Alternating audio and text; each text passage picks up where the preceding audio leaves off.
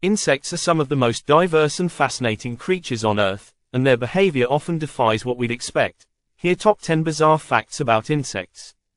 1. Cockroaches can survive decapitation. Cockroaches can live for weeks without their heads. They can still function and breathe through small holes in their bodies until they eventually die from starvation. 2. Ants can form supercolonies. Some ant species can create supercolonies that span thousands of miles and contain billions of ants, all cooperating as one massive entity. 3. Dragonflies are fearsome hunters. Dragonflies are some of the most efficient hunters in the animal kingdom, with a success rate of around 95% when catching their prey mid-flight. 4. Termite queens can live for decades. While most insects have short lifespans, termite queens can live for over 20 years, laying millions of eggs throughout their lives. 5. Some caterpillars mimic snake heads, to avoid predators, certain caterpillars, like the hawk moth caterpillar, inflate parts of their body to resemble the head of a snake.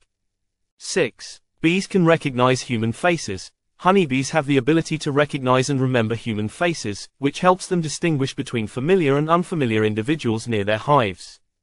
7. Ladybugs play dead. When threatened, ladybugs can secrete a yellow liquid from their legs and play dead to deter predators, making themselves less appealing as prey. 8. Praying mantises can turn their heads. Unlike most insects, the praying mantis has a flexible neck that allows it to rotate its head 180 degrees to survey its surroundings and stalk prey. 9. Insects make up most of the world's species. Insects account for around 80% of all known species on Earth, making them by far the most dominant form of life on the planet. 10. Some insects farm other bugs. Certain ant species farm aphids by protecting them from predators in exchange for feeding on the sugary liquid that aphids produce.